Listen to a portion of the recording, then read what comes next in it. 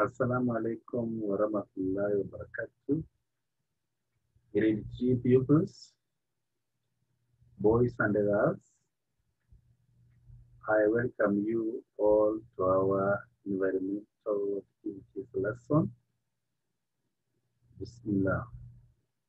Pupils, our topic is social development, living in the community. Subtopic is market. Pupils, a market is a place where buying and selling takes place. In the market, there are buyers and sellers. In the market, there is goods and services. Pupils, what are the importance of keeping the market clean? A dirty marketplace can spread diseases like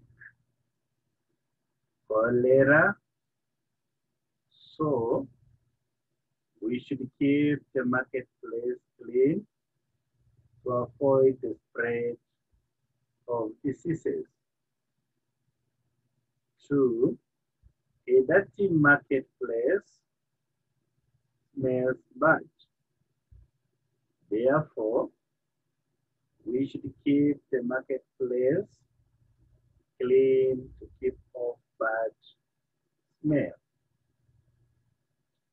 Three, a dirty marketplace pupils has pests like rats and uh, mosquitoes.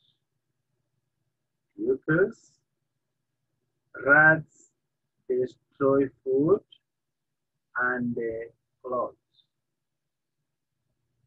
A dirty marketplace can cause accidents like falling. If you fall pupils, you might break your leg or your hand. Five, a clean marketplace is attractive and beautiful. Pupils, before we wind up, I want us to go through once more what we have talked. We have said a market is a place where buying and selling takes place. In the market, there are buyers and sellers. In the market pupils, there is goods or there are goods and services.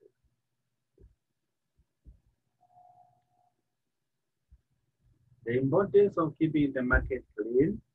One, a dirty marketplace can spread diseases like cholera. We should keep the marketplace clean to avoid spread of diseases. A dirty marketplace smells bad. We should keep the marketplace clean to keep off bad smell. A dirty marketplace has pests like cats and the mosquitoes. Rats destroy food and the clothes. A dirty marketplace can cause accidents like falling. A clean marketplace is attractive and uh, beautiful. Pupils, up to that point, we have come to the end of our environmental lesson. Until next lesson, inshallah, next week. Assalamu alaikum wa rahmatullahi wa barakatuh.